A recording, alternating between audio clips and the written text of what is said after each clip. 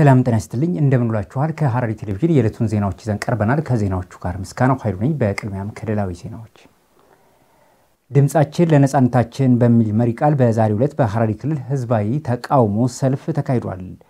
የውስጥና የውጭ ጠላቶቻችን ተልእኮን በማክሸፍ የሀገራችን ሉዓላዊነት ጠብቀን የበለጸገች ሐረርን ለቀጣይ ትውልድ እናስረክባለን ብለዋል የሐረሪ ክልል ርዕሰ መስተዳድር አቶ ኦርዲን በድሪ በተቃውሞ ሰልፉ ላይ ተገኝተው ባስተላለፉት መልእክት።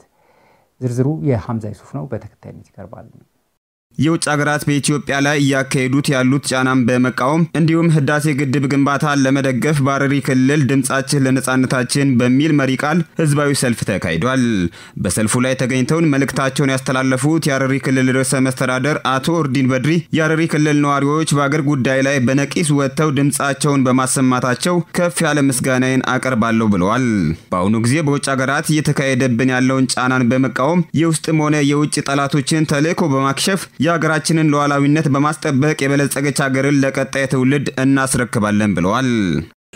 ለዚህች ጥንታዊ ሀገርና የብዙ ዘመን ሺህ ታሪክ ላላቸው ህዝቦቿ ከዚህ ትውልድ በላይ ያገበናል የሚሉ የውስጥና የውጭ ኃይሎች መስተዋላቸው ተቀባይነት የሌለው ግልጽ የሉዓላዊነት ብቻ ሳይሆን የህግና የሞራል ጥያቄም የሚያስነሳም ነው። በመሆኑም የውስጥና የውጭ ጠላቶቻችንን ተልዕኮ በማክሸፍ የሀገራችንን ሉዓላዊነትና ነጻነት ጠብቀን ለቀጣይ ትውልድ የበለጸገች ታላቅ ሀገር ለማስተላለፍ የህዳሴ ግድባችንን ከማጠናቀቅ ስድስተኛውን አገር አቀፍ ምርጫ ከማሳካት ውጭ ምንም ሌላ አማራጭና አቋራጭ እንደሌለን ሊሰመርበት ይገባል። ህዝባዊ ሰልፉ ላይ የተሳተፉ ነዋሪዎች በበኩላቸው በሀገራችን ጉዳይ ላይ አንደራደርም፣ የሀገራችን ጉዳይ ለራሳችን ይተውልን፣ ጣልቃ አይግቡብን ሲሉ ተናግረዋል።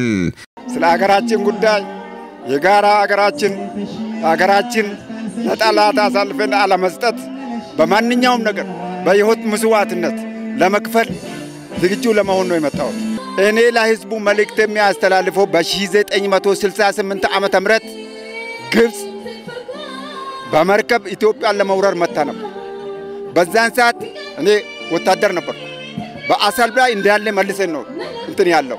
ስለዚህ አሁንም የኢትዮጵያን አንድነት አተኩረን መያዝ አለብን። ይሄ ሌላም ጉዳይ የውስጥ ችግራችን ከዛ ከአገር በኋላ ነው የሚፈታው። ስለዚህ አሁን የምናስቀምጠው ለወጣቶች እኛ የኢትዮጵያን አንድነት ይዞ ማንኛውም ሰው በጉልበቱ፣ በገንዘቡ፣ በሕይወቱ ለአገር አገራችን እኮ የሰው ልጅ መገኛ ነች። ከማንም ሕዝብ በፊት ነው እኮ የሰው ልጅ ኢትዮጵያ ውስጥ የተገኘ። ስለዚህ የአሜሪካን ታሪክ ከኛ ከኛ በፊት አይደለም ከኛ በኋላ ነው። ስለዚህ እኛ ይህንን ታሪክ አባቶቻችን ያስረከቡንን ታሪክ በትውልድ ሆነን እኛ ደግሞ ለማንም ኢትዮጵያዊ ለወጣቶች ማስረከብ አለብን። መስዋዕት ለመክፈል ዝግጁ ነኝ። የአባይ ጉዳይ የኢሉና ጉዳይ ነው፣ የህይወት ጉዳይ ነው። ወደ ኋላ አንልም። ህይወታችን እንሰዋለን። አሜሪካን ባደረገችብን የመቃብ መጣልና ግብፅ እየተገዳደረችን ባለው በገዛ በምድራችን ላይ በሚፈሰው በአባይ ውሃ ላይ በአባይ ውሃ ላይ የምታደርገው ተግዳሮት ታቁም በሚል ነው የወጣሁት። የመጀመሪያ ማስጠንቀቂያ ለባንዳዎች ነው።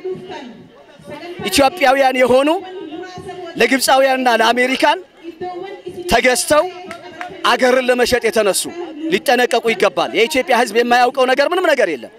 የኢትዮጵያ ሕዝብ እያንዳንዱን ያውቃል። ባንዳ ሆነው ለግብፅ ቢያገለግሉ፣ ለአሜሪካን ቢያገለግሉ ነገ መልሰው የሚያርዷቸው ራሳቸው ናቸው። ምክንያቱም ከዚህ በፊት የሚያስተምረን ታሪክ አለ። ጣሊያኖች በአድዋ ጦርነት ጊዜ ባንዳዎች ነበሯቸው። ባንዳዎች አሰልፈው ኢትዮጵያውያኖችን ኢትዮጵያን እንዲመቱ እንዲወጉ አድርገዋል። በመጨረሻ ላይ ግን ሲሸነፉ አርደው የጣሏቸው ባንዳዎችን ነው። ውሃው የኛ፣ አገሩ የኛ፣ መሬቱ የኛ። ጣልቃ ገብትን ጣልቃ ገቢዎችን እናወግዛለን እናወግዛለን። ሰላምን እንፈጥራለን። ሰላምን ፈጥረን አባይን በጉልበታችን እንገነባለን። በማንም ሀገር ጣልቃም ገቢዎችን እጃቸውን ያንሱልን፣ እጁን ያንሳልን። አሜሪካን ጣሊያን እጇን ሰጠች፣ ራሷን ተላይታ ሶማሌም ገበረች ራሷን ተላይታ ኢትዮጵያ ያመጣች ሹርባ ተሰርታ የማንን አገር ማን ይደፍረዋል? ሞት ለማንኛው ይቀርለታል። አባይ የኛ ነው፣ እንገነባለን፣ እንገድባለን። ዛሬ የመጣሁት በፍላጎቴ ጣልቃ ገብ የሆነውን መንግስት አሜሪካን ለመቃወም ነው የመጣሁት። ስለዚህ እኛ ራሳችን ግድባችንን ገድበን ራሳችን ነፃነታችንን እናሰማለን በጮት እኛ ሴቶች ማለት ነው። እኔ ሴትም ተወካይ ነኝ፣ የሰላም ቤተሰብ ተወካይ ነኝ። ስለዚህ ሰላም ነው የምንፈልገው። ሶስቷን ፊደል ጣልቃ ገብን በጣም አድርገን ነው የምንቃወመው። ቀደም ሲል ኢትዮጵያን የተተናኮሉ ሁሉ አፍረው ነው የተመለሱት ያሉት ተሳታፊዎቹ አሁንም ቢሆን ለሀገራችን አስፈላጊውን መስዋዕትነት እንከፍላለን ብለዋል። በዛሬው ዕለት በተካሄደው ህዝባዊ ሰልፍ ላይ የሐረሪ ክልል ነዋሪዎች፣ የተለያዩ ወረዳ ተወካዮች፣ ወጣቶች፣ የሃይማኖት አባቶችና የተለያዩ የክልሉ አመራሮች ተሳትፎበታል። ተባገሩ ሰባንዙ ቢበላ አፈር ቢበላ መቅመቆ ይከበር የለም ወይ ሰውነቱ ታውቆ? ሰማይ ታረሰ ምን ተባለ? ጀት በሰማይ ሲፍለቀለቅ ታንክ በመሬት ሲደቀንደቅ የዛን ጊዜ ነው የኢትዮጵያ ጀግና በጥሩ ጎራዴ ክትት ክትት። ሁለተኛው የውሃ ዙር የህዳሴ ግድብ ሙሌት ግብፅ አንዳች ጉዳት አያደርስብኝ ማለቷ ከወትሮ ፍጥነታችን ሊያዘናጋን እንደማይገባ ምሁራን ተናገሩም።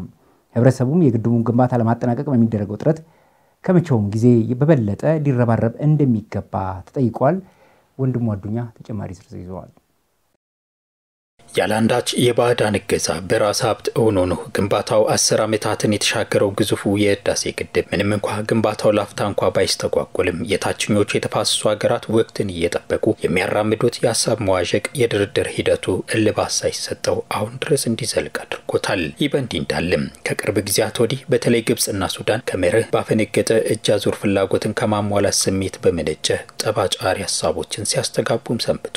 ይሁን እንጂ ወትሮም ተለዋዋጭ የሆነው የሀገራቱ አቋም በተለይ የግብጽ ከሰሞኑ በውጭ ጉዳይ ሚኒስትሯ ሳሚ ሹኩሪ አማካኝነት ሁለተኛው ዙር የውሃ ሙሌት በሀገራችን ላይ ምንም አይነት ጉዳት እንደማያስከትል ለእንደራሴዎች ምክር ቤት ተገኝተው ተናግሯል። የዚህ ሀሳብ አንድምታ እንዴት ይታያል? መምህር ናታዬ ባ በአርሚያ ዩኒቨርሲቲ በህግ ትምህርት ክፍል መምህርና አጥኚ ናቸው። እርሳቸው እንደሚሉት ግብጽም ሆነ ሱዳን የግድቡን ጠቀሜታ እውነታውን በውል ይረዱታል። ሌሎች ሀገራት ተመሳሳይ አረዳድ እንዳይዙ ለማድረግ የሚያደርጉት ጥረት መሆኑን አንስትም ይህ ተለዋዋጭ ባህሪያቸው የሚጠበቅ ነው ይላሉ። እንግዲህ አሁን ግብጽ ውስጥ ያለው እሳቤ ምንድን ነው? የአባይ politics እንደሚጠቅምም ልቦናቸው ያውቃል። እንትን ደግሞ በሆነ part ደግሞ የነሱ የሌሎች ሀገራትን የሌሎች አፍሪካ ሀገራቶችን በተፋሰሱ ዙሪያ ያሉ ሀገራችን ተመሳሳይ እሳቤ እንዳይወልዱ እና ቀላል መንገድ እንዳልሆነ ግድብን መስራት ወይም ማንኛውም አባይ ላይ የሚደረግ ልማት ቀላል እንዳልሆነ precedence ወይም ደግሞ ምንድን ነው ቀድሞ የተወሰነ ውሳኔዎችን እያዩ discourage ለማድረግ ይመስላል። የሀሳብ መለዋወጣቸው expected ነው። ምክንያቱም ከመጀመሪያው ጀምሮ ድርድሩን ይገባሉ። ድርድሩን የሚያቆሙበት ሀሳብ በየጊዜው እየተለያየ የሚገቡበት ሀሳብ ደግሞ እየተለያየ መሆኑን ብዙ ማሳያዎች አሉ። ከመጀመሪያ ድርድር round ኦች ጀምሮ ማለት ነው። ሀገራቱ ቀድሞ ላይ የግድቡ መገንባት ለሕልውናችን ስጋት ነው ሲሉ ሳይንሳዊ መርህን ባልተከተለ መልኩ የተሳሳተ ውንጀላን ሲያራምዱ ቆይተው ነበር የሚሉት ደግሞ በዚሁ ዩኒቨርሲቲ የሕግ ትምህርት ቤት መምህርና ተባባሪ ዲን ደሊል ወርቅቸውም የኢትዮጵያን የማይናወጥ አቋም ሲረዱ በሁለተኛው ዙር የውሃ ሙሌት ላይም ያላትን ጽኑ እምነትን ሲመለከቱ ድንገት ይህን ማንሳታቸው የሚጠበቅ ቢሆንም የማዘናጊያ ስልታቸው ሊሆን ስለሚችል ጥንቃቄ ሊደረግ እንደሚገባ ያሳስባሉ። አሁን ደግሞ የኢትዮጵያን አቋም ሲያዩ ምን ማለት ጀምሮ የማዘናጋት አሁን ይሄ የማዘናጋት ስትራቴጂ ነው። ዞሮ ዞሮ ኢትዮጵያ ግድቡን ሁለተኛ ዙር መሙላቷን የሚቀር ነገር አለም። ስለዚህ ያንን ሲያውቁ እኛን ለማዘናጋት በቃ ግድቡ ቢገደብም ችግር የለው። ስለዚህ ይሄ ማዘናጊያ ስትራቴጂ ነው እንጂ እውነትም የእኛን ሀሳብ ደግፎ አይመስለኝም። እኛን የማዘናጋት አንዱ መንገዳቸው ነው የሆነ የሚመስለው ማለት ነው። በግልጽም ደግሞ እንደዛ ነው የሚሆነው። በግድቡ ግንባታም ሆነ በድርድሩ ዙሪያ እንደ ሀገር መንግስት በሀገራት ግንኙነት በዲፕሎማሲው መስክ የሄደባቸው ርቀቶች የሚበረታቱ መሆናቸውን ያመለከቱት መምህራኑ ለሀገር ጥቅምና ሕልውና ሲባል በዘርፉ ተከታታይና ውጤታማ ስራ መስራት እንደሚገባ ምክር ሀሳባቸውን ያነሳሉ። ከዚህ ባለፈም የህዳሴውን ግድብ በህዝብ ያላሰለሰ ጥረት እውን ሊሆን ጥቂት ዓመታት የቀሩት ቢሆንም የምስራቅ አፍሪካ የኃይል አሰላለፍ አሊያም በቀጠናው ጂኦፖለቲካ ላይ የኢትዮጵያን ሚና ከፍ የሚያደርጉ በመሆኑ የባዕዳኑ ላይታች ማለት ሳያዘናጋን በተሻለ ፍጥነት ግድቡን ከፍጻሜው ልናደርስ ይገባል ሲሉም ያነሳሉ። ግድቡ ምንም ለድርድር የሚቀርብበት ጉዳይ የለም። በቃ ሁለተኛ ዙርም የሞላ መቀጠል ነው። still open መሆን አለብን ብዬ አስባለሁ ለድርድሮች። ግን ድርድሮቹ የእኛን interest affect በሚያደርግ መልኩ ከሆን we should say no አይሆንም የሚል መልስ ይዘን ነው መደራደር አለብን እንጂ በዚህ በኩል አሜሪካ ተጽዕኖ ስላደረገች፣ በዚህ በኩል ግብጽ እኛን በተለያየ መንገድ ጫና ውስጥ ለመክተት ስለሞከረች ብቻ ሀሳባችን ተለዋዋጭ መሆን የለበትም። ይሄ የትውልድ ጉዳይ ነው። ዛሬ ላይ ያለው ብቻ ሳይሆን ወደፊት ባለፉት ሶስት ሺህ ዓመታትም እነሱ ሲጠቀሙበት የኖሩት እና አሁንም ገና ወደፊትም እንጠቀም እያሉ ባለበት ሁኔታ በዚህ ግድብ ጉዳይ ላይ ምንም አይነት የኢትዮጵያን ጥቅም አሳልፎ የመስጠት ድርድር አይነት ነገር መኖር የለበትም የሚል ነው የኔ አቋም። ከተሞላ ያልቃል ብዬ አስባለሁ። አሁን በተያዘለት schedule ግድቡ ከተሞላ የግብፅም concern የሱዳን በኩልም ያለው አለመረጋጋት የሚቆምና ዘላቂ ያልሆነ ችግር ነው ብዬ ነው የማስበው። እንደ ሀገር አሁን ላይ በሁለንተናዊ መስኩ የምናደርገው እንቅስቃሴ ያልተዋጠላቸው እነርሱ ከውጥናችን ሊያሰናክሉ የበዛ ጥረት እያደረጉ ቢሆንም ይህን ለመቀልበስ በአንድነት ልንረባረብ ይገባል የምሁራኑ ሀሳብ ነው። የመብራት ክፍያ ከአቅማችን በላይ የሆነብን ነው ሲሉ የሐረሪ ክልል ነዋሪዎች ገለጹ። የክልሉ ኤሌክትሪክ አገልግሎት ችግሩን ለመቅረፍ እየሰራው ነው እያለ ሲገኝ በብዙሃን ዘንድም የዕለት ከዕለት ቅሬታ ከሚነሳባቸው አገልግሎት ሰጪ ተቋማት መካከል አንዱ ተጠቃሽ ሆኗል የኢትዮጵያ ኤሌክትሪክ አገልግሎት። ይህንን በተመለከተ ትህትና ተስፋዬ ያዘጋጀችው ዘገባ አለ። በብዙሃኑ ዘንድ የዕለት ተዕለት ቅሬታ ከሚነሳባቸው የአገልግሎት ሰጪ ተቋማት መካከል የመብራት ኃይል አገልግሎት ተጠቃሹ ነው። ከአሁናዊ የኑሮ ውድነቱ ጋር ተዳምሮ ፍትሐዊ ያልሆነው የመብራት ክፍያ በኑሯቸው ላይ ተጨማሪ ጫና እየፈጠረ መሆኑን ሀሳባቸውን ለሐረሪ ብዙሃን መገናኛ ኤጀንሲ እየሰጡ የሐረር ከተማ ነዋሪዎች ተናግረዋል። በብልሽት ላይ ሲጠሩ ከበፊቱ ትልቅ ለውጥ አለ። ቶሎ ይመጣሉ። መልካም ነገር አለ። በጣም ትልቅ መሻሻል አለ። በፊት ትራንስፖርት አቅርቡ ይላሉ። ብዙ ችግሮች ነበሩ። አሁን በራሳቸው ትራንስፖርት ቀድሞ ይመጣሉ፣ ይሰራሉ። ይሄ ምንም ጥያቄ የለም። አሁን ትልቁ ችግር ምንድን ነው? ክፍያ ላይ ነው። የመንግስት ሰራተኛ ከመንግስት ሰዓቱን ሰርቆ እዚህ ቁጭ ብሎ ይውላል። መንግስት ብር ለመቀበል ሰራተኞችን ማብዛት ነው ያለበት እንደሚመስለኝ the solution። አለበለዚያ ሁሉም ሰራተኛ ነው፣ አብዛኛው ሰራተኛ ነው። ብር ለመቀበል ሁለት ሰዓት መቀመጥ የለብህም። ይሄ አንዱ ትልቁ ችግር ነው። ሌላው ደግሞ አይመጡም ተቆጣሪዎቹ አይመጡም። ስለዚህ መቼ ማን የቆጠረው እንዴት እንደተቆጠረ አይታወቅም። አሁን እኔ ለምሳሌ አንድ ወር ነው 1500 ብር ሆነብኝ 1485 ብር ሆነብኝ ስል እንዳውም it's fair አሉኝ። አንተ እንዳውም ጥሩ ነው እንግዲህ አላውቅም እንዴት እንደጠየቁና አንድ ሰራተኞቹ ያለማምጣት ትልቁ ችግር እሱ ነው። ከዚህ በፊት አምስት ሺህ አራት መቶ ሰራት ብር ከፍያለሁ ከአንድ ወር በፊት ከሁለት ወር በፊት ቀጥሎ ደግሞ ስድስት መቶ ብር መጣብኝ። አሁን ደግሞ ስምንት መቶ ስልሳ ሁለት ብር መጣብኝ ያው ነው ችግራችን። የክፍያው ነገር ከባድ ነው በጣም over ወጣ። እንዴት የሀገር ውስጥ ነው መብራት እኮ ከውጭ አይመጣም። እኛ እኮ ለውጭ ሀገር እየሰጠን ነው። ለምን እንደዚህ ክፍያው እንደሚበዛ እኔ በጣም እያዘንኩ ነው እውነት። አሁን እንደገና ስምንት መቶ ብር ክፈይ ሲሉኝ እኔ ኬት አመጣለሁ? በቃ በጣም በዛብኝ። ግን አራት መቶ ነው ቁጥሯ ቁጥሩ አራት መቶ ነው ኳያቱ ግን ስምንት መቶ ከምናምን አሉ። የዕለት ተዕለት ኑሯችንን ለማሻሻል ደፋ ቀና እያልን ባለንበት በዚህ ወቅት በወር የሚቆጥርብን ብር ከአቅማችን በላይ እየሆነ ተቸግረናል ያሉት ቅሬታ አቅራቢዎቹ ቆጣሪ አንባቢዎቹ በወቅቱ ወይንም ደግሞ በየወሩ መጥተው እንደማያነቡ ጠቅሰዋል። የመንግስት ሰዓት ሰርቀህ እዚህ ቁጭ ብለህ ትውላለህ። እዛ ጋር የመንግስት ስራ ይበደላል። ስለዚህ ይሄ ቢስተካከል ሰራተኛ ቢያበዙ እንጂ በብልሽት ላይ ትልቅ ለውጥ ነው ያለው። በዚህ ሊመሰገኑ ይገባቸዋል። እኔ በጣም ነው ያዘንኩት። ጡረተኛ አለ ጡረተኞች አብሶ ደሞዛቸው አንድ ሺህ ብር አይሞላም። እኔም ራሴ እስከዚህም ነው ደሞዜ ከሺ ምናምን እንደዛ ነው። ግን ኬት እናመጣለን ነው የክፍያው ነገር በጣም ቦበር እየወጣ ነው።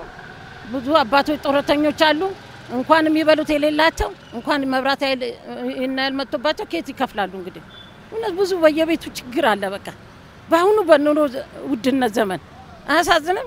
በጣም ያሳዝናል። ይህ የሀገራችን ምርት የሀገር ውስጥ አይደለ እንዴ? እና መንግስት ቢያይልን ጥሩ ነው፣ ደስ ይለኛል። በሐረሪ ክልል ኤሌክትሪክ አገልግሎት የቢልና ገንዘብ ሰብሳቢ ክፍል ኃላፊ ወይዘሮ ውቢት እንደተናገሩት አብዛኛውን ጊዜ እኛ bill ኡ ላይ ባለው ልክ እና ከቆጣሪው ጋር በማናበብና በማመሳከር ሰራተኛው ክፍያውን እንዲያከናውኑ የሚደረግ ስራ እየተሰራ መሆኑን ተናግረዋል። ሲመጣ አብዛኛው ሰው ጥሩ ነው ብሎ ነው የሚያስበው።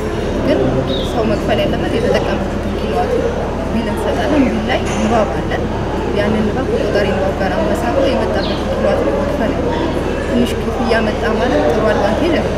ሰው የተጠቀመበትን በከፈለ የሚጠራቀም አሁን ላይ ከንባብ በፊት በነበረው ችግር ጋር ተያይዞ ብዙ የተጠራቀሙ ኪሎዋቶች ስላሉ ትልልቅ እየመጣ ነው። ግን እኛም በተቻለን መጠን ደንበኛውን እያገዝን ያለ ያ ማለት የሁለት ዓመት ዓመት የስድስት ወር ኪሎዋት ሊሆን ይችላል። በአንድ bill ላይ ተሰብስቦ ሊመጣ ይችላል። ወደ ድርጅቱ ማዕከል ላይ መጡ በሚያደርገው complaint ወደ ኋላ ተበትኖ የተለያየ ታሪፍ ስላለ በየታሪፉ ተበትኖለት የሚከፍልበትን አማራጭ ሁለቴ ሶስቴ የሚከፍልበትን አማራጭ ነገር ወይዘሮ ውቢት አክለውም መጀመሪያ ላይ ትንሽ ክፍያ ወይንም ባልተጠቀመበት ልክ ካልቆጠረ ተጠራቅሞ ሲመጣ ተደራርቦ ስለሚቆጥርባቸው ያንን ደግሞ ወደ ድርጅቱ መጥተው በማሳወቅ ሁለት ሶስቴ እንዲከፍሉ እያደረግን ነው ሲሉ ተናግረዋል። አብዛኛው ደንበኛ ሲቆረጥበት የሚመጣው ማለት ነው። አገልግሎቱ ሲቋረጥ ማለት ያ ከሚሆንና data የሚጠራቀም በጊዜ መጥቶ ማዕከላችን ላይ እዛም እንኳን መፍትሄ ካጣ ወደ region መጥቶ ነገሮች እንዲፈቱ ማድረግ ይቻላል። አሁን ላይ ደንበኞቻችን ሶስት አይነት አማራጮችን መጠቀም እንደሚችሉ ጠቅሰው ቢሮ ድረስ በመምጣት መገልገል፣ በባንክ ሄደው በአገልግሎት ቁጥራቸው መጠቀም እንዲሁም ቤታቸው በመሆን ስልክ ቁጥራቸውን በማስመዝገብ mobile banking በመጠቀም ክፍያቸውን በወቅቱ መክፈል እንደሚችሉም ተናግረዋል። ከሐረሪ ክልል ቴሌቪዥን ለዕለቱ የነበሩን ዜናዎች እንዲህ ይመስሉ ነበረ። ዜናዎቹ ወደ እናንተ በማድረስ ምስጋናው ኃይሉ አብሬያችሁ ቆይታ አድርጌያለሁ። ከቀሪዎቹ የሐረሪ ቴሌቪዥን ፕሮግራሞች ጋር ሰናይ ጊዜን ተመኘውላችሁ።